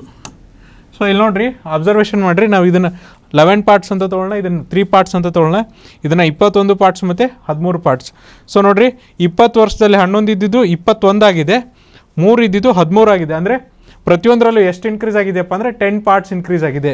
ಸೊ ನೋಡಿರಿ, ಹನ್ನೊಂದು ಇದ್ದಿದ್ದು ಇಪ್ಪತ್ತೊಂದಾಗಿದೆ ಮೂರು ಇದ್ದಿದ್ದು ಹದಿಮೂರು ಆಗಿದೆ. ಅಂದರೆ ಪ್ರತಿಯೊಂದಕ್ಕೂ ಎಷ್ಟು ಪಾರ್ಟ್ಸ್ ಇನ್ಕ್ರೀಸ್ ಆಗಿದೆ? ಟೆನ್ ಪಾರ್ಟ್ಸ್ ಇನ್ಕ್ರೀಸ್ ಆಗಿದೆ. ಸೊ ಎಷ್ಟು ವರ್ಷದಲ್ಲಿ ಇನ್ಕ್ರೀಸ್ ಆಗಿದೆ? ಇಪ್ಪತ್ತು ವರ್ಷದಲ್ಲಿ. ಯಾಕಂದರೆ ಇದು ಹತ್ತು ವರ್ಷಗಳ ಹಿಂದೆ, ಇದು ಹತ್ತು ವರ್ಷಗಳ ನಂತರ. ಹಾಗಂದ್ರೆ ಎಷ್ಟು ವರ್ಷ ತೊಗೋತಾರೆ ಇಲ್ಲಿ? ಇಪ್ಪತ್ತು ವರ್ಷ ತೆಗೆದುಕೊಳ್ತಾರೆ. ಸೊ ನೋಡಿರಿ ten part equal to twenty ಆದರೆ ನಾವೇನು ಕಂಡುಹಿಡಿಬೇಕು? ಲೆವೆನ್ ಪಾರ್ಟ್ ಈಕ್ವಲ್ ಟು ಎಷ್ಟು ಮತ್ತು ಮೂರು ಪಾರ್ಟ್ ಈಕ್ವಲ್ ಟು ಎಷ್ಟು ಅಂತ ಕಂಡುಹಿಡಿಬೇಕು. ನೋಡಿರಿ ten part equal to twenty ಅಂದರೆ ಒಂದು ಪಾರ್ಟ್ ಎಷ್ಟಾಗುತ್ತಪ್ಪ? ಎರಡಾಗುತ್ತೆ ಲೆವೆನ್ ಪಾರ್ಟ್ ಈಕ್ವಲ್ ಟು ಎಷ್ಟಾಗುತ್ತೆ? ಇಪ್ಪತ್ತೆರಡು ಆಗುತ್ತೆ. ಸೊ ಇದೇನು ಇಪ್ಪತ್ತೆರಡು ಇದೆಯಲ್ಲ? ಇದು ಹತ್ತು ವರ್ಷಗಳ ಹಿಂದೆ. ಈಗ ಏನಾಗುತ್ತೆ? ಹತ್ತು ವರ್ಷ ಆ್ಯಡ್ ಮಾಡಬೇಕು. ಇಪ್ಪತ್ತೆರಡಕ್ಕೆ ನೀವು ಹತ್ತು ವರ್ಷ ಆ್ಯಡ್ ಮಾಡಿದರೆ ಎಷ್ಟಾಗುತ್ತೆ? ಮೂವತ್ತೆರಡು ಆಗುತ್ತೆ. ಸೊ ನೋಡಿರಿ ಆಪ್ಷನಲ್ಲಿ ಮೂವತ್ತೆರಡು ಇರೋದು ಒಂದು, ಮತ್ತು ಮೂರು. ಹಾಗಾಗಿ ಈ ಎರಡು ಆಪ್ಷನ್ ಹೋಗ್ಬಿಡುತ್ತೆ. ಅದೇ ಥರನಾಗಿ ನೆಕ್ಸ್ಟ್ ನೋಡಿರಿ. ಒಂದು ಪಾರ್ಟ್ ಎರಡು, ಆದರೆ ಮೂರು ಪಾರ್ಟ್ ಎಷ್ಟಾಗುತ್ತಪ್ಪ? ಆರಾಗುತ್ತೆ. ಅದೇನು ಹತ್ತು ವರ್ಷಗಳ ಹಿಂದೆ, ಹತ್ತು ವರ್ಷಗಳ ನಂತರ ಏನಾಗ್ತದೆ? ಹದಿನಾರು ಆಗುತ್ತೆ. ಹಾಗಾದರೆ ಯಾವ ಆಪ್ಷನ್ ಸೂಟ್ ಆಗುತ್ತೆ? ಆಪ್ಷನ್ ನಂಬರ್ ಒನ್ ಸೂಟ್ ಆಗುತ್ತೆ. ಇಲ್ಲೇನಿದೆ? ಹನ್ನೆರಡು ಇದೆ. ಹಾಗಾಗಿ ಈ ಕ್ವಶನ್ ಈ ಆಪ್ಷನ್ ಆಗಲ್ಲ. ಯಾವ ಆಪ್ಷನ್ ಆಗುತ್ತಪ್ಪ? ಆಪ್ಷನ್ ನಂಬರ್ ಒನ್ ಆಗ್ತದೆ. ಸೊ ನೋಡಿರಿ ಕ್ವಶನ್ಸ್ನ ನೀವು ಪಾರ್ಟ್ ವೈಸ್ ಮಾಡೋದ್ರಿಂದ ನಿಮಗೆ ತುಂಬ ಕಡಿಮೆ ಸಮಯದಲ್ಲಿ ಏನಂದರೆ ಆನ್ಸರ್ ಬರುತ್ತೆ. ಜಸ್ಟ್ ಕಂಪ್ಯಾರಿಸನ್ ಮಾಡಿರಿ. ಈಕ್ವಲ್ ಇದ್ದಾಗ ಈ ಥರ ಈಕ್ವಲ್ ಇರಲಿಲ್ಲ ಅಂದರೆ ನೀವು ಎಲ್ ಸಿ ಎಂ ತೆಗೆದುಕೋಬೇಕಾಗುತ್ತೆ. ಸೊ ಪ್ರತಿಯೊಂದರಿಂದನೂ ಟೆನ್ ಪಾರ್ಟ್ ಇನ್ಕ್ರೀಸ್ ಆಗಿದೆ. ಸೊ ಎಷ್ಟು ವರ್ಷದಲ್ಲಿ ಇನ್ಕ್ರೀಸ್ ಆಗಿದೆ? ಇಪ್ಪತ್ತು ವರ್ಷದಲ್ಲಿ ಇನ್ಕ್ರೀಸ್ ಆಗಿದೆ. ಹಾಗಾಗಿ ಒಂದು ಪಾರ್ಟ್ ಕೊಲ್ಟು ಏನಾಗುತ್ತಪ್ಪ? ಎರಡು ವರ್ಷ ಆಗುತ್ತೆ. ಸೊ ನೋಡಿರಿ, ಹತ್ತು ವರ್ಷದಿಂದ ಎಷ್ಟಿತ್ತು? ಲೆವೆನ್ ಪಾರ್ಟ್ ಇತ್ತು. ಅಂದರೆ ಇಪ್ಪತ್ತೆರಡು ವರ್ಷ. ಈಗ ಏನು ಮಾಡ್ಬೇಕು ನಾವು ಅದಕ್ಕೆ? ಹತ್ತು ವರ್ಷ ಆ್ಯಡ್ ಮಾಡ್ಬೇಕು. ಹಾಗಾಗಿ ಮೂವತ್ತೆರಡು. ಸೊ ಈ ಥರ ಸಾಲ್ವ್ ಮಾಡೋದ್ರಿಂದ ನಿಮ್ಗೆ ಏನಾಗುತ್ತೆ? ಆನ್ಸರ್ ಈಸಿಯಾಗಿ ಬರುತ್ತೆ. ಸೊ ಉತ್ತರ ಏನಾಗುತ್ತಪ್ಪ ಅಂದರೆ ಮೂವತ್ತೆರಡು. ಮತ್ತು ಹದಿನಾರು ಆಗುತ್ತೆ. ಸೊ ಇದನ್ನು ನೀವು ಏನಾದರೂ ಟ್ರೆಡಿಷ್ನಲ್ ಮೆಥಡ್ ಮಾಡೋಕ್ಕೆ ಹೋದರೆ ನೀವು ಮತ್ತೆ ಅದನ್ನು ಕ್ರಾಸ್ ಮಲ್ಟಿಪ್ಲೈ ಮಾಡಿ ಮಾಡಬೇಕಾಗುತ್ತೆ. ತುಂಬ ಸಮಯ ತೆಗೆದುಕೊಳ್ಳುತ್ತೆ. ನೆಕ್ಸ್ಟ್ ಕ್ವಶನ್ ನೋಡಿರಿ. ಒಂದು ವರ್ಷದಲ್ಲಿ ಪುಸ್ತಕ ಮಾರಾಟಗಾರರಿಂದ ಮಾರಾಟವಾದ ಪುಸ್ತಕಗಳ ಸಂಖ್ಯೆ ಹೀಗಿದೆ. ಯಾವ ತಿಂಗಳುಗಳಲ್ಲಿ ಅವರು ವರ್ಷದ ಮಾರಾಟವಾದ ಪುಸ್ತಕಗಳ ಸರಾಸರಿಗಿಂತ ಹೆಚ್ಚು ಪುಸ್ತಕಗಳನ್ನು ಮಾರಾಟ ಮಾಡಿದ್ದಾರೆ ಅಂತ ಕೇಳಿದ್ದಾರೆ. ಸೊ ಆ ಅಂಕಿ ಇಲ್ಲಿದೆ ನೋಡ್ರಿ. ಒಂದು ವರ್ಷದಲ್ಲಿ ಅವ್ರು ಎಷ್ಟು ಪುಸ್ತಕ ಮಾರ್ತಾರೆ ಅನ್ನೋದು ಇಲ್ಲಿ ಕೊಟ್ಟಿದ್ದಾರೆ. ಜನವರಿಯಲ್ಲಿ ಎರಡು ಸಾವಿರ ಮಾಡ್ತಾರೆ ಫೆಬ್ರವರಿಲಿ ಹದಿನೈದುನೂರು, ಮಾರ್ಚಲ್ಲಿ ಎರಡೂವರೆ ಸಾವಿರ, ಏಪ್ರಿಲಲ್ಲಿ ಮೂರು ಸಾವಿರ, ಮೇಯಲ್ಲಿ ಎರಡು ಸಾವಿರ ಜೂನಲ್ಲಿ ಒಂದು ಸಾವಿರ, ಜುಲೈಯಲ್ಲಿ ಹದಿನೈದುನೂರು, ಆಗಸ್ಟಲ್ಲಿ ಎರಡು ಸಾವಿರ, ಸೆಪ್ಟೆಂಬರಲ್ಲಿ ಐದು ಸಾವಿರ, ಅಕ್ಟೋಬರಲ್ಲಿ ಎರಡು ಸಾವಿರ, ನವಂಬರಲ್ಲಿ ನೂರೈವತ್ತು, ಮತ್ತು ಡಿಸೆಂಬರಲ್ಲಿ ಆರು ಸಾವಿರ. ಸೊ ನೋಡಿರಿ, ಸರಾಸರಿ ತೊಗೊಂಡಾಗ ನಿಮಗೆ ಒಂದು ಎರಡೂವರೆ ಸಾವಿರ ಅದು ಬರುತ್ತೆ. ಬಟ್ ಜಾಸ್ತಿ ಇರುವಂಥ ತಿಂಗಳು ಯಾವುದು ಸೇಲ್ ಆಗಿರೋದು? ಐದು ಸಾವಿರ ಮತ್ತು ಆರು ಸಾವಿರ. ಹಾಗಾಗಿ ಆಪ್ಷನಲ್ಲಿ ಐದು ಸಾವಿರ ಮತ್ತು ಆರು ಸಾವಿರದ ತಿಂಗಳುಗಳು ಇದೆಯಾ ನೋಡ್ರಿ. ಸೊ ನೋಡ್ರಿ ಆಪ್ಷನಲ್ಲಿ ಐದು ಮತ್ತು ಆರು ಸಾವಿರದ ಇದೆಯಾ ಅಂತ ನೋಡ್ರಿ. ಸೆಪ್ಟೆಂಬರ್ ಮತ್ತು ಡಿಸೆಂಬರ್ ಅಂತ ಇದೆ. ಹಾಗಾದರೆ ಉತ್ತರ ಏನಾಗುತ್ತೆ? ಇದೇ ಆಗುತ್ತೆ. ಯಾಕಂದರೆ ಸರಾಸರಿಗಿಂತ ಹೆಚ್ಚಿನ ಪುಸ್ತಕಗಳು. ಸೊ ನಿಮಗೆ ಇಷ್ಟೇ ಹೆಚ್ಚು ಅಂತ ಹೇಳಿಲ್ಲ, ಜಾಸ್ತಿ ಅಂತ ಕೇಳಿದ್ದಾರೆ. ಹಾಗಾದರೆ ಜಾಸ್ತಿ ಸೇಲ್ಸ್ ಮಾಡಿದ್ದು ಯಾವುದಪ್ಪ? ಸೆಪ್ಟೆಂಬರು ಮತ್ತು ಡಿಸೆಂಬರ್ ತಿಂಗಳಲ್ಲಿ ಮಾತ್ರ ಜಾಸ್ತಿ ಸೇಲ್ಸ್ನ ಮಾಡಿದ್ದಾರೆ. ಹಾಗಾಗಿ ಉತ್ತರ ಏನಾಗುತ್ತೆ ಅಂದರೆ ಆಪ್ಷನ್ ನಂಬರ್ ಒನ್ ಆಗ್ತದೆ. ಸೊ ಈ ಕ್ವಶನಲ್ಲಿ ನೀವು ಸರಾಸರಿ ತೆಗಿಯೋ ಅವಶ್ಯಕತೆ ಇಲ್ಲ. ಜಸ್ಟ್ ನೋಡ್ಕೊರಿ, ಜಾಸ್ತಿ ಪುಸ್ತಕ ಎಲ್ಲಿ ಮಾರಾಟವಾಗಿದೆ ಅಂತ. ಸೊ ನೀವು ಸರಾಸರಿ ತೆಗೆದ್ರೆ ಅದು ನಿಮಗೆ ಎರಡು ಸಾವಿರದ ಮುನ್ನೂರು ಸಮಥಿಂಗ್ ಬರುತ್ತೆ. ಸೊ ಎರಡು ಸಾವಿರದ ಮುನ್ನೂರಿಗಿಂತ ನಿಮಗೆ ಆಲ್ಮೋಸ್ಟ್ ಏನಪ್ಪ, ಐದರಿಂದ ಆರು ಆಪ್ಷನ್ ಇದೆ. ಹಾಗಾಗಿ, ಅತಿ ಹೆಚ್ಚು ಇರೋದು ಯಾವುದಂದರೆ ಸೆಪ್ಟೆಂಬರ್ ಮತ್ತು ಡಿಸೆಂಬರ್ ತಿಂಗಳಲ್ಲಿ ಮಾತ್ರ ಅತಿ ಹೆಚ್ಚಾಗಿರೋದು. ಸೊ ನೆಕ್ಸ್ಟ್ ಕ್ವಶನ್ ನೋಡಿರಿ. ಈ ಕೆಳಗಿನ ಪೈ ರೇಖಾಚಿತ್ರದಲ್ಲಿ ಚರ್ಮದ ಉತ್ಪನ್ನಗಳನ್ನು ತಯಾರಿಸುವ ಎ ಬಿ ಸಿ ಕಂಪ್ನಿಯ ಆದಾಯವನ್ನು ತೋರಿಸುತ್ತದೆ. ಎರಡು ಸಾವಿರದ ಹದಿನೈದರ ವರ್ಷದ ಆದಾಯದ ಒಟ್ಟು ಮೂವತ್ತಾರು ಸ, ಮೂವತ್ತಾರು ಲಕ್ಷ ಇಪ್ಪತ್ತೆಂಟು ಸಾವಿರ ರೂಪಾಯಿ ಆಗಿದೆ. ಹಾಗಾದರೆ ವ್ಯಾಲೆಟ್ ಮತ್ತು ಬೆಂಟ್ಗಳ, ಬೆಲ್ಟ್ಗಳ ಮಾರಾಟದಿಂದ ಎಷ್ಟು ಆದಾಯ ಕಳಿಸಲಾಗಿದೆ ಅಂತ ಕೇಳಿದ್ದಾರೆ. ಸೊ ನೋಡಿರಿ, ನಿಮಗೊಂದು ವೇನ್ ಡಯಾಗ್ರಾಮ್ ಕೊಟ್ಟಿದ್ದಾರೆ. ವೇನ್ ಡಯಾಗ್ರಾಮಲ್ಲಿ ಏನು ಹೇಳಿದಾರಪ್ಪ ಅಂದರೆ, ಇದೊಂದು ಯಾವುದಪ್ಪ ಅಂದರೆ ಚರ್ಮದ ಉತ್ಪನ್ನಗಳನ್ನು ತಯಾರಿಸುವ ಕಂಪ್ನಿದ ಎ ಬಿ ಸಿ ಅನ್ನೋ ಕಂಪ್ನಿದು ರೇಖಾಚಿತ್ರ ವೇನ್ ಡಯಾಗ್ರಾಮು ಅದರಲ್ಲಿ ಅವರು ಒಂದು ವರ್ಷಕ್ಕೆ ಒಟ್ಟು ಆದಾಯ ಎಷ್ಟು ಬರುತ್ತೆ ಅಂದರೆ ಮೂವತ್ತಾರು ಲಕ್ಷದ ಇಪ್ಪತ್ತೆಂಟು ಸಾವಿರ ರೂಪಾಯಿ ಬರುತ್ತೆ. ಹಾಗಾದರೆ ನಿಮ್ಗೆ ಏನು ಕೇಳಿದ್ದಾರೆ, ವ್ಯಾಲೆಟ್ ಮತ್ತು ಬೆಲ್ಟ್ಗಳಿಂದ ಎಷ್ಟು ಬರುತ್ತೆ ಅಂತ ಕೇಳಿದ್ದಾರೆ. ಸೊ ನೋಡಿರಿ, ಇಲ್ಲಿ ವ್ಯಾಲೆಟ್ ಬಂದ್ಬಿಟ್ಟು ಎಷ್ಟಿದೆಯಪ್ಪ ಅಂದರೆ ಫೈವ್ ಪರ್ಸೆಂಟ್ ಇದೆ. ಅದೇ ಥರನಾಗಿ ಬೆಲ್ಟ್ ಬಂದು ಇಪ್ಪತ್ತು ಪರ್ಸೆಂಟ್ ಇದೆ. ಸೊ ನೋಡಿರಿ, ಇದು ವ್ಯಾ ಇದು ವ್ಯಾಲೆಟ್ ಅಂದರೆ ಇದು ವ್ಯಾಲೆಟು ಇದು ಬೆಲ್ಟು ಸೊ ವ್ಯಾಲೆಟ್ ಎಷ್ಟಿದೆ? ಐದು ಪರ್ಸೆಂಟ್ ಇದೆ. ಬೆಲ್ಟ್ ಇಪ್ಪತ್ತು ಪರ್ಸೆಂಟ್ ಇದೆ. ಇಪ್ಪತ್ತು ಪ್ಲಸ್ ಐದು ಸೇರಿಸಿದ್ರೆ ಎಷ್ಟಾಯಿತು? ಇಪ್ಪತ್ತೈದು ಪರ್ಸೆಂಟ್ ಆಯಿತು. ಸೊ ನಿಮಗೇನು ಕ್ವಶನಲ್ಲಿ ಕೊಟ್ಟಿದ್ದಾರೆ ಅಂದರೆ ಹಂಡ್ರೆಡ್ ಪರ್ಸೆಂಟ್ ಈಕ್ವಲ್ ಟು ಎಷ್ಟಂತ ಕೊಟ್ಟಿದ್ದಾರಪ್ಪ? ಮೂವತ್ತಾರು ಲಕ್ಷದ ಇಪ್ಪತ್ತೆಂಟು ಸಾವಿರ ರೂಪಾಯಿ ಅಂತ ಕೊಟ್ಟಿದ್ದಾರೆ. ಸೊ ನೀವೇನು ಕಂಡುಹಿಡಿಬೇಕು?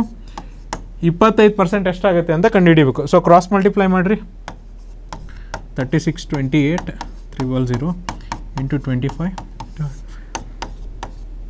so ನೋಡಿರಿ, ಇಪ್ಪತ್ತೈದು ಒಂದಲೇ, ಇಪ್ಪತ್ತೈದು ನಾಲ್ಕಲೆ.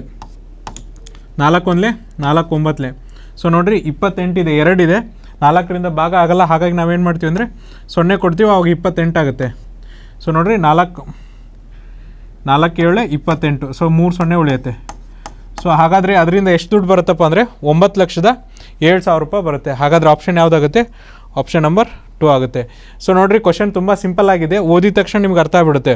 ಸೊ ನಿಮ್ಗೆ ಹಂಡ್ರೆಡ್ ಪರ್ಸೆಂಟ್ ಕೊಟ್ಟಿದ್ದಾರೆ. ಅದರಲ್ಲಿ ಏನು ಕಂಡುಹಿಡಿಬೇಕು ನೀವು? ವ್ಯಾಲೆಟು ಮತ್ತು ಬೆಲ್ಟ್ ಇನ್ ಪರ್ಸೆಂಟೇಜ್ ಕಂಡುಹಿಡಿಬೇಕು. ಸೊ ಜಸ್ಟ್ ಆ್ಯಡ್ ಮಾಡಿರಿ.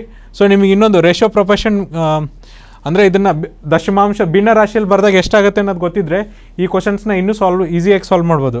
ಸೊ ನೋಡಿರಿ ಟ್ವೆಂಟಿ ಫೈವ್ ಪರ್ಸೆಂಟ್ನ ನಾವು ಭಿನ್ನ ರಾಶಿಯಲ್ಲಿ ಹೆಂಗೆ ಬರಿತೀವಿ ಅಂದರೆ ಒನ್ ಬೈ ಫೋರ್ ಅಂತ ಬರಿತೀವಿ. ಸೊ ನೀವೇನು ಮಾಡ್ಬೋದಪ್ಪ ಅಂದರೆ thirty six thousand thirty six lakh into thirty six lakh eighty twenty eight thousand into one by four ಮಾಡಿಬಿಡ್ಬೋದು. ಅವಾಗ ನೀವು ಡೈರೆಕ್ಟಾಗಿ ಕ್ಯಾಲ್ಕುಲೇಷನ್ ಮಾಡೋದ್ರಿಂದ ನಿಮಗೆ ತುಂಬ ಆನ್ಸರ್ ಈಸಿಯಾಗಿ ಬರುತ್ತೆ. ಸೊ ನಿಮಗೆ ಕೆಲವೊಂದಿಷ್ಟು ಟೈಮ್ ಏನಂದರೆ ಭಿನ್ನ ರಾಶಿಗಳು ಕೂಡ ಗೊತ್ತಿರಬೇಕಾಗುತ್ತೆ. ಅಂದರೆ ಪರ್ಸಂಟೇಜಿನಿಂದ ಭಿನ್ನ ರಾಶಿಗೆ ಬರೆದಾಗ, ಭಿನ್ನ ರಾಶಿಯಿಂದ ಪರ್ಸಂಟೇಜಿಗೆ ಬರೆದಾಗ, ಯಾಕಂದರೆ ಇದು ಆ್ಯಪ್ಟಿಟ್ಯೂಡ್ ಕ್ವಶನ್ಸ್ ಆಗಿರೋದ್ರಿಂದ ನಿಮಗೆ ಎಕ್ಸಾಮ್ಸಲ್ಲಿ ಟೈಮ್ ಸೇವಿಂಗ್ಸ್ ಮಾಡೋದು ಬೇಕಾಗಿರುತ್ತೆ. ಹಾಗಾಗಿ ನೀವು ಏನಪ್ಪ ಅಂದರೆ ದಶಮಾಂಶದಿಂದ ಭಿನ್ನ ರಾಶಿಗೆ ಭಿನ್ನ ರಾಶಿಯಿಂದ ದಶಮಾಂಶ ಮತ್ತು ದಶಮ ಭಿನ್ನ ರಾಶಿಯಿಂದ ಪರ್ಸೆಂಟೇಜ್ಗೆ ಪರ್ಸೆಂಟೇಜ್ನಿಂದ ಭಿನ್ನ ರಾಶಿಗೆ ಸ್ವಲ್ಪ ಕಲ್ತ್ಕೊಂಡ್ರೆ ಒಳ್ಳೆಯದು ಸೊ ಅದೇ ಥರ ನೆಕ್ಸ್ಟ್ ಕ್ವಶನ್ ಏನಿದೆ ನೋಡಿರಿ? ನೋಡಿರಿ ಸೆವೆಂತ್ ಕ್ವಶನ್ ಏನಿದೆ ಅಂದರೆ ಬ್ರಿಮ್ ಎನ್ನುವುದನ್ನು ಒಂದು ನಿರ್ದಿಷ್ಟ ಸಂಕೇತದಲ್ಲಿ ಎ ಕ್ಯೂ ಎಚ್ ಎಲ್ ಎಂದು ಬರೆಯಲಾಗುತ್ತದೆ. ಹಾಗಾದರೆ ಎಡ್ಜನ್ನು ಹೇಗೆ ಬರೆಯಲಾಗುತ್ತದೆ ಅಂತ ಕೇಳಿದ್ದಾರೆ. ಸೊ ನೋಡಿರಿ, ಬ್ರಿಮ್ನ ಯಾವ ಥರ ಬರೀತಾರಪ್ಪ ಅವರಂದರೆ? ಎ ಕ್ಯೂ ಎಚ್ ಎಲ್ ಅಂತ ಬರೀತಾರೆ. ಹಾಗಾದರೆ ನಮಗೇನು ಕೇಳಿದ್ದಾರೆ? ಎಡ್ಜ್ ಎಡ್ಜ್ನ ಯಾವ ಥರ ಬರೀತಾರೆ ಅಂತ ಕೇಳಿದ್ದಾರೆ. ಸೊ ನೋಡಿರಿ ಅಬ್ಸರ್ವ್ ಮಾಡಿರಿ. ಇಲ್ಲಿ ಬಿ ಇದೆ, ಇಲ್ಲಿ ಎ ಇದೆ, ಇಲ್ಲಿ ಆರ್ ಇದೆ, ಇಲ್ಲಿ ಕ್ಯೂ ಇದೆ.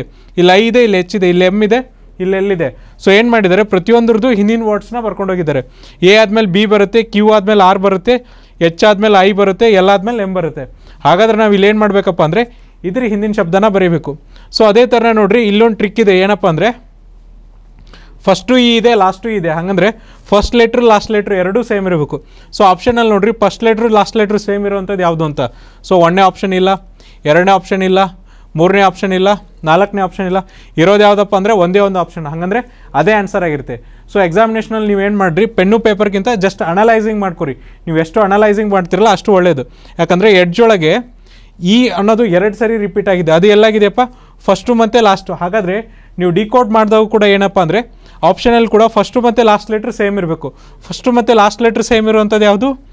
ಆಪ್ಷನ್ ನಂಬರ್ ತ್ರೀ ಅಷ್ಟೇ. ಉಳಿದ ಆಪ್ಷನಲ್ಲಿ ಏನಿದೆ? ಫಸ್ಟ್ ಒಂದು ಲೆಟ್ರ್ ಇದ್ದರೆ ಲಾಸ್ಟ್ ಒಂದು ಲೆಟ್ರ್ ಇದೆ. ಹಾಗಾಗಿ ಆ ಮೂರು ಆಪ್ಷನ್ ಕೂಡ ಆಗಲ್ಲ. ಈಗ ನೋಡಿರಿ, ಈ ಹಿಂದಿನ ಅಕ್ಷರ ಯಾವುದಪ್ಪ? ಡಿ ಡಿ ಹಿಂದಿನ ಅಕ್ಷರ ಯಾವುದು? ಸಿ ಜಿ ಹಿಂದಿನ ಅಕ್ಷರ ಯಾವುದು? ಎಫ್ ಅದೇ ಥರನೇ ಈ ಹಿಂದಿನ ಅಕ್ಷರ ಡಿ ಸೊ ನೋಡಿರಿ D C F D D C F D so ನೀವು ಎಕ್ಸಾಮಿನೇಷನಲ್ಲಿ ಏನು ಮಾಡಬೇಕಂದ್ರೆ ಈ ಥರ ಟ್ರಿಕ್ಸ್ನ ಯೂಸ್ ಮಾಡಿಕೊಂಡು ಟೈಮ್ ಕನ್ಸಂಪ್ಷನ್ನ ಕಡಿಮೆ ಮಾಡಬೇಕಾಗುತ್ತೆ. ಅವಾಗ ಮಾತ್ರ ನಿಮ್ಗೆ ಏನಂದರೆ ನಿಮಗೆ ಕರೆಕ್ಟು ನಿರ್ದಿಷ್ಟವಾಗಿ ಕ್ವಶನ್ಸ್ನ ಅಟೆಂಪ್ಟ್ ಮಾಡೋಕ್ಕಾಗುತ್ತೆ. ಸೊ ನೆಕ್ಸ್ಟ್ ಕ್ವಶನ್ ನೋಡಿರಿ. ನೆಕ್ಸ್ಟ್ ಕ್ವಶನ್ ಏನಿದೆ ಅಂದರೆ ಪ್ಲಸ್ ಎಂದರೆ ಇಂಟು ಇಂಟು ಎಂದರೆ ಮೈನಸ್ ಡಿವೈಡೆಡ್ ಬೈ ಎಂದರೆ ಪ್ಲಸ್ ಮತ್ತು ಮೈನಸ್ ಎಂದರೆ ಡಿವೈಡೆಡ್ ಬೈ ಹಾಗಾದರೆ ಈಗ ಎಷ್ಟಾಗುತ್ತೆ ಅಂತ ಕೇಳಿದರೆ ಅರವತ್ತೆರಡು ಮೈನಸ್ ಎರಡು divided by eight plus fifteen into four plus six ಅಂತ ಕೇಳಿದ್ದಾರೆ. ಸೊ ನೋಡಿರಿ ಫಸ್ಟು ಬರ್ಕೊಂಬಿಡೋಣ. ಫಸ್ಟ್ ಏನಿದೆ? ಅರವತ್ತೆರಡು. ಇಲ್ಲೇನಿದೆ? ಮೈನಸ್ ಇದೆ. ಮೈನಸ್ ಅಂದರೆ ಏನಂತ ಹೇಳಿದಾರಪ್ಪ? ಮೈನಸ್ ಅಂದರೆ ಡಿವೈಡೆಡ್ ಬೈ ಅಂತ ಹೇಳಿದ್ದಾರೆ ಹಾಗಾಗಿ divided by two divided by ಅಂದರೆ ಏನಂತ ಹೇಳಿದ್ದಾರೆ ಪ್ಲಸ್ ಅಂತ ಹೇಳಿದ್ದಾರೆ ಪ್ಲಸ್ ಏಯ್ಟ್ ನೆಕ್ಸ್ಟ್ ಪ್ಲಸ್ಸಿಗೆ ಏನಂತ ಹೇಳಿದ್ದಾರೆ ಪ್ಲಸ್ಸಿಗೆ ಇಂಟು ಅಂತ ಹೇಳಿದ್ದಾರೆ ಇಂಟು ಫಿಫ್ಟೀನ್ ನೆಕ್ಸ್ಟ್ ನೋಡ್ರಿ. ಇಂಟುಗೆ ಏನು ಹೇಳಿದ್ದಾರೆ ಮೈನಸ್ ಹೇಳಿದ್ದಾರೆ ಮೈನಸ್ ಫೋರ್ ಅದೇ ಥರನೇ ಪ್ಲಸ್ಸಿಗೆ ಏನು ಹೇಳಿದ್ದಾರೆ ಇಂಟು ಹೇಳಿದ್ದಾರೆ ಇಂಟು ಸಿಕ್ಸ್ ಸೊ ಇದನ್ನು ಯಾವ ಥರ ಸಾಲ್ವ್ ಮಾಡ್ತೀರ ಅಂದರೆ ಬಾಡಮಸ್ ಅಂದರೆ ಆವಿ ಪಾಗು ಸಮಯ. ಸೊ ನೋಡ್ರಿ ಫಸ್ಟ್ ಏನು ಬರುತ್ತೆ? ಭಾಗಾಕಾರ ಬರುತ್ತೆ. ಆಮೇಲೆ ಗುಣಾಕಾರ, ಆಮೇಲೆ ಸಂಕಲನ, ಆಮೇಲೆ ವ್ಯವಕಲನ. ಸೊ ಫಸ್ಟು ಭಾಗಾಕಾರ ಮಾಡ್ಕೊಂಬಿಡೋಣ ಭಾಗಾಕಾರ ಇರೋದು ಯಾವುದು? ಇದು. ಸೊ ಅರವತ್ತೆರಡರಲ್ಲಿ ನೀವು ಅರವತ್ತೆರಡಕ್ಕೆ ಎರಡರಿಂದ ಡಿವೈಡ್ ಮಾಡಿದ್ರೆ ಎಷ್ಟು ಬರುತ್ತಪ್ಪ? ಮೂವತ್ತೊಂದು ಬರುತ್ತೆ. ಎಂಟು ಇಂಟು ಹದಿನೈದು, ನಾಲ್ಕು ಇಂಟು ಆರು. ನೆಕ್ಸ್ಟ್ ಏನಿದೆ? ನೆಕ್ಸ್ಟು ಗುಣಾಕಾರ ಇದೆ. ಸೊ ಗುಣಾಕಾರ ನೋಡ್ರಿ. ಇಲ್ಲಿ ಗುಣಾಕಾರ ಇದೆ, ಇಲ್ಲಿ ಗುಣಾಕಾರ ಇದೆ. ಗುಣಾಕಾರ ಮಾಡ್ಕೊಂಬಿಡೋಣ. ಹದಿನೈದು ಎಂಟ್ಲೆ ಎಷ್ಟಾಗುತ್ತೆ? ಹದಿನೈದು ಎಂಟ್ಲೆ ಒಂದೂರ ಇಪ್ಪತ್ತಾಗುತ್ತೆ. ಅದೇ ಥರನಾಗಿ ನಾಲ್ಕು ಆರ್ಲೆ ಎಷ್ಟಾಗುತ್ತೆ? ಇಪ್ಪತ್ನಾಲ್ಕಾಗುತ್ತೆ. ಸೊ ನೋಡಿರಿ, ನಿಮ್ಗೇನು ಉಳಿತಪ್ಪ ಅಂದರೆ ಮೂವತ್ತೊಂದು ಪ್ಲಸ್ ನೂರಿಪ್ಪತ್ತು ಮೈನಸ್ ಟ್ವೆಂಟಿ ಸೆವೆನ್ ಉಳಿತು. ಹಾಗಾದರೆ ಫಸ್ಟ್ ಏನು ಮಾಡಿಬಿಡ್ಬೇಕು ಇಲ್ಲಿ? ಮತ್ತೆ ವ್ಯವಕಲನ, ಸಂಕಲನ ಮಾಡ್ಕೋಬೇಕು. ಸಂವಿ ಅಂತ ಇದೆ. ಸೊ ನೋಡಿರಿ, ಮೂವತ್ತೊಂದು ಪ್ಲಸ್ ನೂರಿಪ್ಪತ್ತು ಕೂಡಿಸಿದ್ರೆ ಎಷ್ಟಾಗುತ್ತಪ್ಪ? ನೂರ ಐವತ್ತೊಂದು ಆಯಿತು ಮೈನಸ್ ಇಪ್ಪತ್ನಾಲ್ಕು ಮಾಡಿರಿ. ಸೊ ನೂರ ಇಪ್ಪತ್ತೊಂದರಲ್ಲಿ ಇಪ್ಪತ್ನಾಲ್ಕು ಕಳೆದ್ರೆ ನಿಮ್ಗೆ ಎಷ್ಟು ಉಳಿಯುತ್ತಪ್ಪ? ನೂರ ಇಪ್ಪತ್ತೇಳು ಉಳಿಯುತ್ತೆ. ನಾನು ಎಷ್ಟು ಅಷ್ಟಾಗಿ ಅಕ್ಯುರೇಟಾಗಿ ಹೇಳಿದೆ ಅಂದರೆ ಯೂನಿಟ್ ಡಿಜಿಟಲ್ ನೋಡಿರಿ. ಒಂದಿದೆ, ಇಲ್ಲಿ ನಾಲ್ಕಿದೆ. ಸೊ ಹನ್ನೊಂದರಲ್ಲಿ ನಾಲ್ಕು ಕಳೆದ್ರೆ ಏಳು ಉಳಿಯುತ್ತೆ. ಎಲ್ಲನೂ ಒನ್ ಟ್ವೆಂಟಿ ಸೀರೀಸ್ ಇದೆ. ಸೊ ಏಳಿರುವಂಥ ಆಪ್ಷನ್ ಯಾವುದು? ಆಪ್ಷನ್ ನಂಬರ್ ಮೂರು ಮಾತ್ರ. ಹಾಗಾಗಿ ಒನ್ ಟ್ವೆಂಟಿ ಸೆವೆನ್ ಹಾಗಾಗಿ ನೀವು ಏನದಪ್ಪ ಅಂದರೆ ಯೂನಿಟ್ ಡಿಜಿಟ್ ಕಾನ್ಸೆಪ್ಟ್ನ ಕಲಿಬೇಕಾಗುತ್ತೆ. ಯಾಕಂದರೆ ಯೂನಿಟ್ ಡಿಜಿಟ್ ಕಾನ್ಸೆಪ್ಟಿಂದ ಎಷ್ಟೋ ಟ್ರಿಕ್ಸ್ ಯೂಸ್ ಆಗುತ್ತೆ, ಆಮೇಲೆ ಎಕ್ಸಾಮಿನೇಷನಲ್ಲಿ ಕೂಡ ಟೈಮ್ ಕನ್ಸಂಪ್ಷನ್ ಕಮ್ಮಿ ಆಗುತ್ತೆ. ಸೊ ನೆಕ್ಸ್ಟ್ ಕ್ವಶನ್ ನೋಡಿರಿ. ಹತ್ತು, ಒಂಬತ್ತು ಸಾವಿರದ ಒಂಬೈನೂರ ತೊಂಬತ್ತೊಂಬತ್ತರಿಂದ ಯಾವ ಕನಿಷ್ಠ ಮೊತ್ತವನ್ನು ಕಳೆದಾಗ ಉಳಿದ ಸಂಖ್ಯೆಯನ್ನು ಹದಿನಾರರಿಂದ ಭಾಗಿಸ್ಬೋದು ಅಂತ ಕೇಳಿದ್ದಾರೆ. ಸೊ ಇದಕ್ಕೆ ನಾವೇನು ಮಾಡೋಣ ಅಂದರೆ ಹತ್ತೊಂಬತ್ತು ಸಾವಿರದ ಒಂಬೈನೂರ ತೊಂಬತ್ತೊಂಬತ್ತನ್ನು ಹದಿನಾರರಿಂದ ಭಾಗಿಸೋಣ. ಎಷ್ಟು ಶೇಷ ಉಳಿಯುತ್ತಲ್ಲ, ಅದೇ ಸಂಖ್ಯೆ ಏನಾಗಿರುತ್ತಪ್ಪ ಅಂದರೆ ನಮ್ಮ ಉತ್ತರ ಆಗಿರುತ್ತೆ. ಸೊ ನೋಡಿರಿ, ಒಂಬತ್ತು ಸಾವಿರದ ಒಂಬೈನೂರ ತೊಂಬತ್ತೊಂಬತ್ತು. ಸೊ ಹದಿನಾರರಿಂದ ಭಾಗಿಸೋಣ ಸೊ ಹದಿನಾರು ಐದಲೇ ಎಂಬತ್ತು, ಹದಿನಾರು ಆರಲೇ ತೊಂಬತ್ತಾರು. ಸೊ ಫಸ್ಟ್ ಇಯರ್ ಬಸ್ಟೇ ತೊಂಬತ್ತಾರು ಬರುತ್ತೆ. ಸೊ ಎಷ್ಟು ಉಳಿತಪ್ಪ ಒಂಬತ್ತರಲ್ಲಿ ಆರು ಹೋದರೆ ಮೂರು ಉಳಿಯುತ್ತೆ. ಇಲ್ಲಿ ಒಂಬತ್ತು ಬಂತು. ಹದಿನಾರು ಎರಡಲೇ ಮೂವತ್ತೆರಡು. ಸೊ ಇಲ್ಲೇನು ಉಳಿತಪ್ಪ ಮೂವತ್ತೆರಡು. ಒಂಬತ್ತರಲ್ಲಿ ಎರಡು ಹೋದರೆ ಏಳು. ಇಲ್ಲಿ ಸೊನ್ನೆ. ನೆಕ್ಸ್ಟ್ ಏನು ಬರುತ್ತೆ? ಒಂಬತ್ತು ಬರುತ್ತೆ. ನೋಡಿರಿ, ಹದಿನಾರು ಐದಲೇ ಎಂಬತ್ತು. ಸೊ ಹದಿನಾರು ನಾಲ್ಕಲೇ ಅರವತ್ನಾಲ್ಕು. ಸೊ ಎಪ್ಪತ್ತೊಂಬತ್ತರಲ್ಲಿ ಅರವತ್ನಾಲ್ಕು ಕಳೆದ್ರೆ ನಿಮ್ಗೆ ಎಷ್ಟು ಉಳಿಯುತ್ತೆ? ಹದಿನೈದು ಉಳಿಯುತ್ತೆ. ಹಾಗಾದ್ರೆ ನಮ್ಮ ಉತ್ತರ ಏನಾಗುತ್ತೆ? ಹದಿನೈದು. ಸೊ ನಾವೇನಂದರೆ ಹತ್ತು, ಒಂಬತ್ತು ಸಾವಿರದ ಒಂಬೈನೂರ ತೊಂಬತ್ತೊಂಬತ್ತರಿಂದ ಹದಿನೈದನ್ನು ಕಳೆದ ನಮ್ಗೆ ಏನಂದರೆ ಆ ಅಂಕಿ ಹದಿನಾರರಿಂದ ಸಂಪೂರ್ಣ ಭಾಗ ಆಗುತ್ತೆ. ಸೊ ಇದನ್ನು ನೀವು ಇಲ್ಲಿ ಮಟ್ಟ ಮಾಡೋ ಅವಶ್ಯಕತೆಯೂ ಇಲ್ಲ. ಇಲ್ಲಿ ಸೆವೆಂಟಿ ನೈನ್ ಮಂತು. ಸೊ ನಿಮ್ಗೆ ಆಲ್ರೆಡಿ ಗೊತ್ತಾಯ್ತು. ಏನು? ಹದಿನಾರು ಐದಲೇ ಎಂಬತ್ತು. ಅಂದರೆ ಹದಿನಾರು ಐದಲೇ ಎಂಬತ್ತು ಬಟ್ ಎಂಬತ್ತಕ್ಕೆ ಎಷ್ಟು ಕಮ್ಮಿ ಇದೆ? ಒಂದು ಕಮ್ಮಿ ಇದೆ. ಹಾಗಂದ್ರೆ ನಾವು ಹದಿನಾರಿಂದ ಎಷ್ಟು ಕಳಿಬೇಕು? ಒಂದು ಕಳಿಬೇಕು. ಒಂದು ಕಳೆದ್ರೆ ಎಷ್ಟು ಬರುತ್ತಪ್ಪ? ಹದಿನೈದು ಬರುತ್ತೆ. ಹಾಗಾದ್ರೆ ಉತ್ತರ ಏನಾಗುತ್ತೆ? ಹದಿನೈದು ಆಗ್ತದೆ. ಸೊ ನೆಕ್ಸ್ಟ್ ಕ್ವಶನ್ ನೋಡ್ರಿ. ಕೆಳಗಿನ ಅಭಿವ್ಯಕ್ತಿಯನ್ನು ಸರಳಗೊಳಿಸಿ ಅಂತ ಹೇಳಿದ್ದಾರೆ. ಸೊ ಇದು ಕೂಡ ಏನಂದರೆ ಬಾಡಮಸ್ ರೂಲ್ ಪ್ರಕಾರನೇ ಮಾಡಬೇಕು. ಫಸ್ಟ್ ನಾವೇನು ಮಾಡೋಣ ಅಂದರೆ ಬ್ರ್ಯಾಕೆಟ್ಸ್ನ ಕ್ಲೋಸ್ ಓಪನ್ ಮಾಡ್ಕೊಳ್ಳೋಣ. ಆಮೇಲೆ ಕಂಟಿನ್ಯೂ ಮಾಡೋಣ. ಸೊ ನೋಡಿರಿ, ನಾನು ಫಸ್ಟ್ ಬ್ರ್ಯಾಕೆಟ್ದು ಮಾಡ್ತೀನಿ. ಫಸ್ಟ್ ಬ್ರ್ಯಾಕೆಟಲ್ಲಿ ಏನಿದೆ ಅಂದರೆ three into eleven into thirty three divided by six ಇದೆ. ಸೊ ನೋಡಿರಿ ಹನ್ನೊಂದು ಒಂದಲೇ, ಹನ್ನೊಂದು ಮೂರಲೆ. ಮೂರು ಒಂದಲೇ, ಮೂರು ಎರಡಲೆ. ಸೊ ಒಂದನೇ ಬ್ರ್ಯಾಕೆಟಲ್ಲಿ ನಿಮ್ಗೆ ಏನು ಬರುತ್ತಪ್ಪ ಅಂದರೆ ತ್ರೀ ಬೈ ಟೂ ಬಂತು. ಸೆಕೆಂಡ್ ಬ್ರ್ಯಾಕೆಟ್ ನೋಡಿರಿ nine by four into twelve by three ಇದೆ. ನಾಲ್ಕು ಒಂದ್ಲೆ, ನಾಲ್ಕು ಮೂರಲೆ. ಮೂರು ಮೂರು ಕ್ಯಾನ್ಸಲ್ ಆಯಿತು. ಇಲ್ಲೇನು ಉಳಿತಪ್ಪ ಅಂದರೆ ನಿಮಗೆ ಒಂಬತ್ತು ಉಳೀತು. ಅದೇ ಥರನಾಗಿ ನೆಕ್ಸ್ಟ್ ಬ್ರ್ಯಾಕೆಟ್ ನೋಡಿರಿ five by eleven into twenty two by ten ಅಂತಿದೆ. ಹನ್ನೊಂದು ಒಂದಲೇ, ಹನ್ನೊಂದು ಎರಡಲೆ. ಎರಡು ಒಂದಲೇ ಎರಡು ಐದಲೆ ಈ ಐದು ಈ ಐದು ಕ್ಯಾನ್ಸಲ್ ಆಯಿತು. ಸೊ ಏನು ಉಳಿತಪ್ಪ ನಿಮಗಿಲ್ಲ? ಒನ್ ಉಳೀತು. ಸೊ ನೋಡಿರಿ ಒನ್ನೇ ಬ್ರ್ಯಾಕೆಟಿಂದ ನಿಮ್ಗೆ ಏನು ಉಳಿಯುತ್ತೆ? ತ್ರೀ ಬೈ ಟೂ ಉಳೀತು. ಸೆಕೆಂಡಿಂದ ಏನು ಉಳಿಯುತ್ತೆ ನಿಮಗೆ? ನೈನ್ ಉಳಿಯಿತು ಸೊ ಹಾಗಾಗಿ ಮೈನಸ್ ನೈನ್ ನೆಕ್ಸ್ಟ್ ಏನು ಉಳಿಯುತ್ತೆ? ಪ್ಲಸ್ ಒನ್ ಸೊ ನೋಡಿರಿ three by two minus nine plus one ಹಾಗಂದ್ರೆ ನಾವೇನು ಮಾಡಬೇಕು? ತ್ರೀ ಬೈ ಟೂಗೆ ಒಂದು ಕೂಡಿಸ್ಬೇಕು, ಅದರಿಂದ ನೈನ್ನ ಮೈನಸ್ ಮಾಡಬೇಕು, ಅಥವಾ three by two minus nine plus one ಒಂಬತ್ತರಿಂದ ಒಂದು ಕಳೆದ್ರೆ ಎಷ್ಟು ಉಳಿಯುತ್ತಪ್ಪ? ಎಂಟು ಉಳಿಯುತ್ತೆ. ಹಾಗಾಗಿ three by two minus eight ಆಯಿತು. ಸೊ ನೋಡಿರಿ, ಇಲ್ಲೇನಿದೆ ಛೇದ ಸಮ ಆಗಿಲ್ಲ. ಹಾಗಾಗಿ ನಾವೇನು ಮಾಡ್ತೀವಿ? ಲಸ ತೊಗೋತೀವಿ. ಲಸ ತೊಗೊಂಡಾಗ ಇಲ್ಲಿ ಏನಾಗುತ್ತಪ್ಪ? ಎರಡು ಲಸ ಬರುತ್ತೆ. ಇಲ್ಲಿ ಮೂರೇ ಉಳಿಯುತ್ತೆ. ಎರಡು ಎಂಟ್ಲೆ ಹದಿನಾರು ಆಗುತ್ತೆ. ಸೊ ಉತ್ತರ ಏನಾಗುತ್ತೆ ಅಂದರೆ ಮೈನಸ್ ಹದಿಮೂರು ಬೈ ಎರಡು ಆಗುತ್ತೆ. ಸೊ ನೋಡಿರಿ ಉತ್ತರ ಏನಾಗುತ್ತೆ ಮೈನಸ್ ಹದಿಮೂರು ಬೈ ಎರಡು ಆಗುತ್ತೆ. ಈ ಮೈನಸ್ ಸಿಂಬಲ್ನ ನೆನ್ಪಿಟ್ಕೋರಿ ಯಾಕಂದರೆ ನಿಮಗೆ ತರ್ಟೀನ್ ಬೈ ಟೂ ಬಂದುಬಿಡುತ್ತೆ. ಅದನ್ನೇ ಆನ್ಸರ್ ಅಂತ ಹಾಕ್ತಾರೆ. ನಿಮಗೆ ಎಕ್ಸಾಮಿನೇಷನಲ್ಲಿ ಕನ್ಫ್ಯೂಸ್ ಮಾಡೋಕ್ಕೋಸ್ಕರ ಏನು ಮಾಡಿದ್ದಾರೆ ಒಂದು ಪ್ಲಸ್ಸು ಒಂದು ಮೈನಸ್ ಕೊಟ್ಟಿದ್ದಾರೆ. ಹಾಗಾಗಿ ನೀವು ಏನು ಮಾಡಬೇಕಂದ್ರೆ ಯಾವುದು ಮೈನಸ್ ಇದೆಯಲ್ಲ ಅದು ನಿಮ್ದು ಏನಂದರೆ ಕರೆಕ್ಟ್ ಆನ್ಸರ್ ಆಗಿರುತ್ತೆ. ಹಾಗಾಗಿ ಆನ್ಸರ್ ಏನಂದರೆ minus thirteen by two so ಇದು ಏನಪ್ಪ ಅಂದರೆ ಇವತ್ತಿನ ಸೆಷನು ನೆಕ್ಸ್ಟ್ ಸೆಷನಲ್ಲಿ ಮತ್ತೊಂದಿಷ್ಟು ಕ್ವಶನ್ಸ್ನ ಡಿಸ್ಕಸ್ ಮಾಡೋಣ. ಅಲ್ಲಿವರೆಗೂ ನೋಡ್ತಾರೆ classic education YouTube channel thank you